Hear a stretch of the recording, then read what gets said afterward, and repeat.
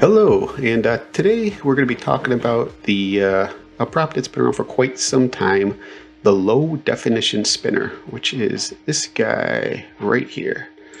Um, we're going to talk about some of the submodels that we uh, we use when we're sequencing. Uh, we have created some to uh, to, to help uh, get a little more use out of it, and depending on what vendor you got your prop from, some of the submodels may have already been created. Um, some may not. It doesn't really matter because after watching this, you'll know how to create them and uh, you'll be able to uh, get more out of your spinner. So we're going to jump right in here. And we're just going to go right over here. We got our spinner selected. Just come down here to submodels, click this, and it'll pull up our submodel window. We'll just expand it, make it really big so everybody can see.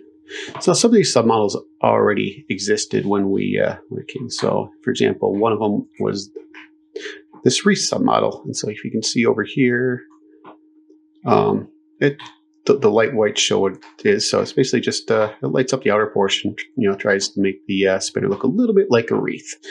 Um, so that's one that came with it. And most of these other ones uh, recreated. The first one I want to go over is called this one we call it concentric. Um, you can see it's made up of multiple lines. And so this first one, we have just this pixel in the center. If, you know, if I hover over it, you can see it's going to show it's pixel 178.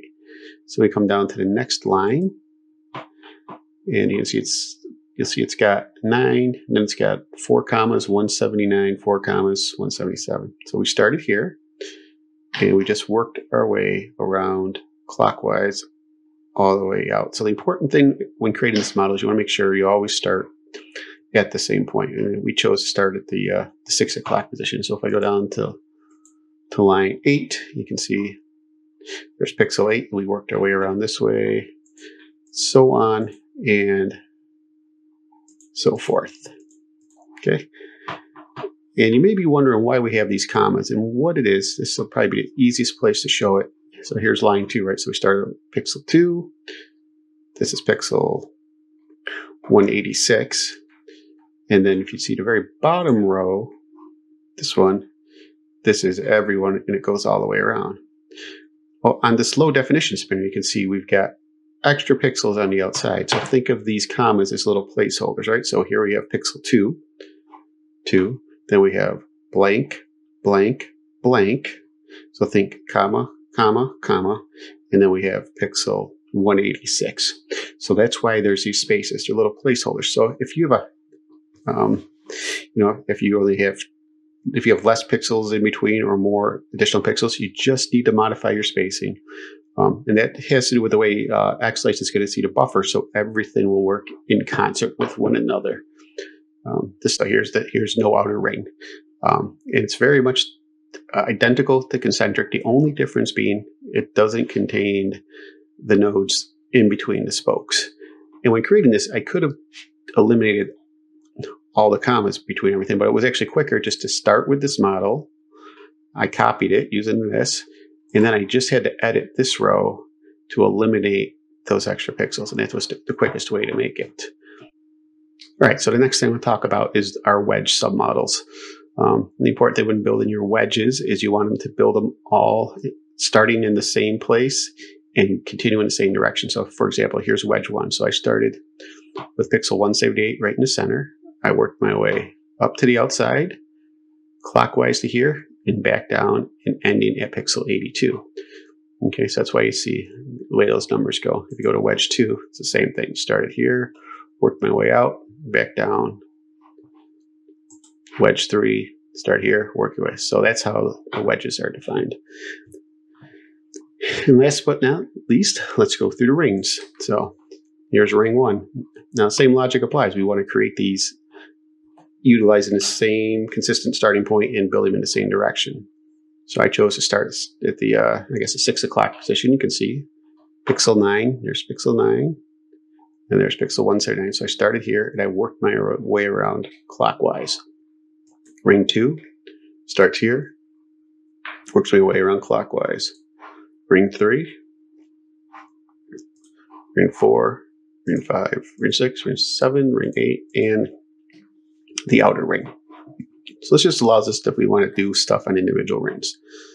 So that goes over the submodels. So we can close out of, here. actually, don't, I want to show one more thing.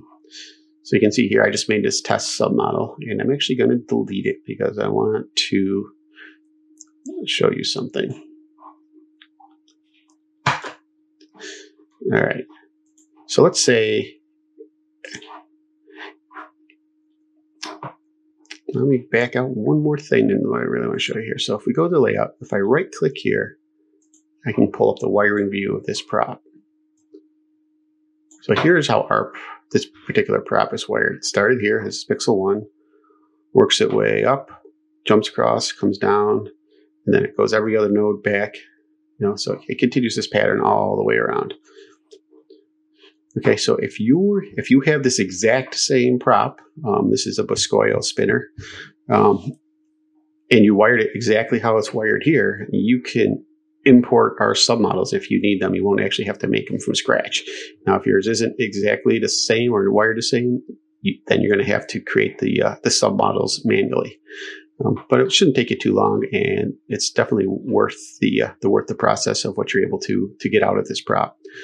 Um, and so, how we would import it? Let's go back to our submodels. Actually, I lied. First thing we want. So, what you would do is you'd open up our layout. Okay, uh, navigate it to it in a, you know a temporary directory. Change temporarily in Xlights. Then you're going to right click on this, and you're going to put export Xlights model and you select this. Now I've already actually exported this, so I'm just going to cancel. Then you would come into the submodels and you can go import.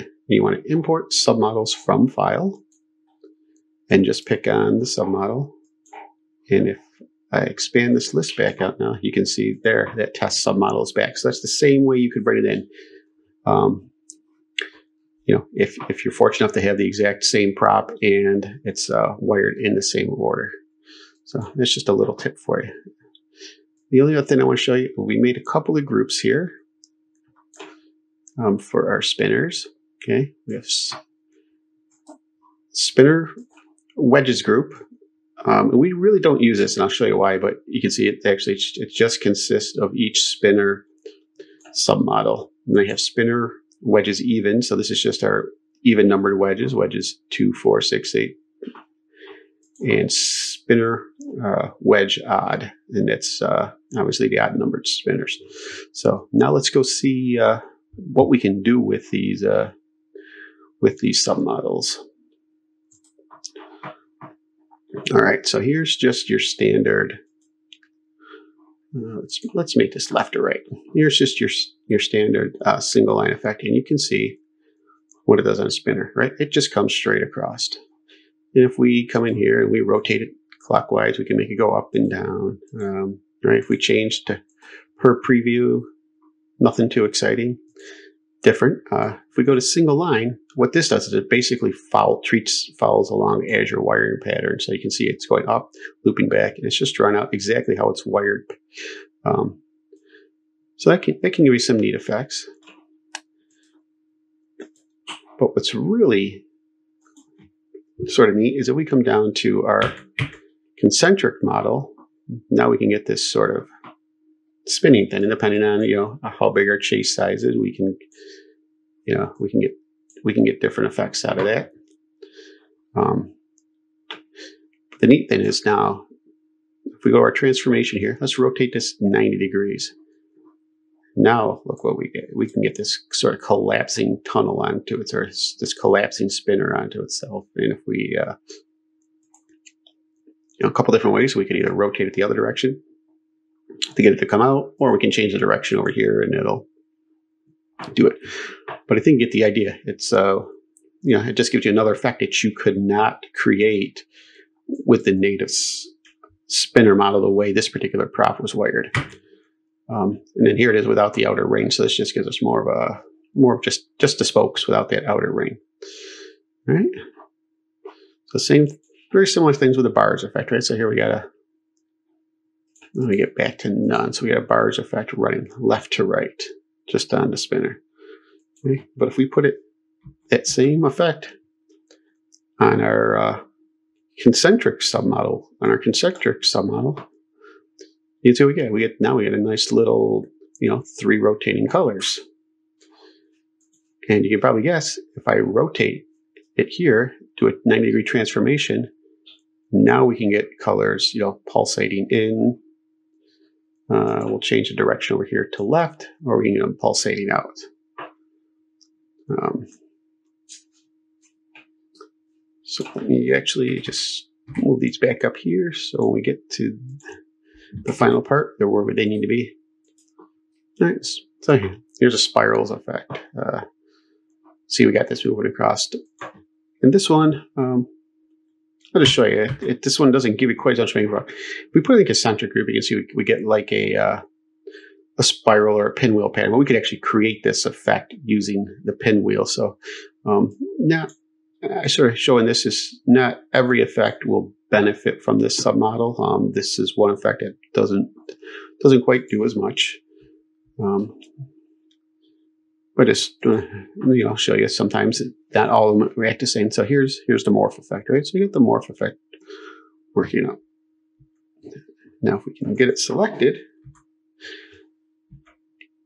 yeah, same thing, right? If I get it on this concentric model, we can get it to uh, pulsate in.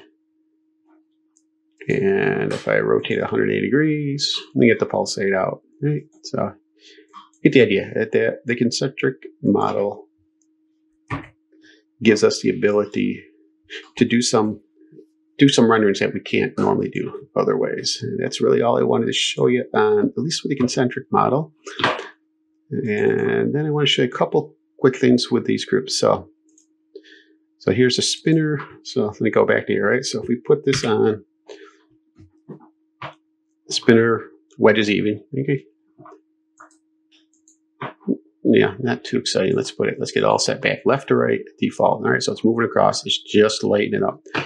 Okay, where the magic comes in now, if we go to our render style and we go to per model default, now look what we get. That's pretty cool, I think. Um, you can see, so now it's treating each uh, each wedge individually, but it's doing it sort of on a group level. So it's, it's doing a single line. It's coming out, down, and back, right? So if we do it on our odd group, yeah, it's the same thing, just moved over. Now, there is a little problem if you try to do it on the spinner wedges group, which is why I said it's a group we really don't use. Um, this has to do with because there's overlapping uh, nodes in all these models, okay? And Xlights doesn't know, it gets confused. It doesn't know how to handle that. Um, but actually, a real quick workaround, if you wanted to do something like this, is you put you put the, the effect on the even group and put the effect on the odd group, and now it'll work. Um, it's not perfect because we do lose this little part, but that's uh, you know that's the that's just a limitation uh, of of Xlights. Um, you know, same thing with the bars effect, right? Now we got the bars coming down. Let's go ahead and put it down here on the even group. Let's get it right. Let's put the same thing we want to put on render per model default. Okay, so now what it's doing, it's running that bars effect on each one. Right? Another pretty cool, neat, neat effect. And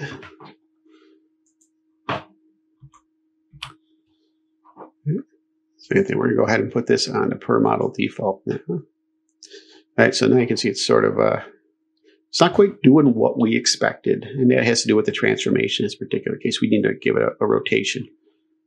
So you can see it more effect, know, creates a pretty unique little, uh, unique little effect. And uh, so having these fairly simple submodels allows us to to do some unique things and get a little more out of this uh, this prop. And uh, I think it really punches it up. So that about finishes up. Uh, hopefully today uh, you'll, you learn how to create a submodel and how we can get a little bit more out of this uh, this low definition prop and really uh, punch up some of our sequences. Thanks for stopping by and watching channels and uh, have a great day.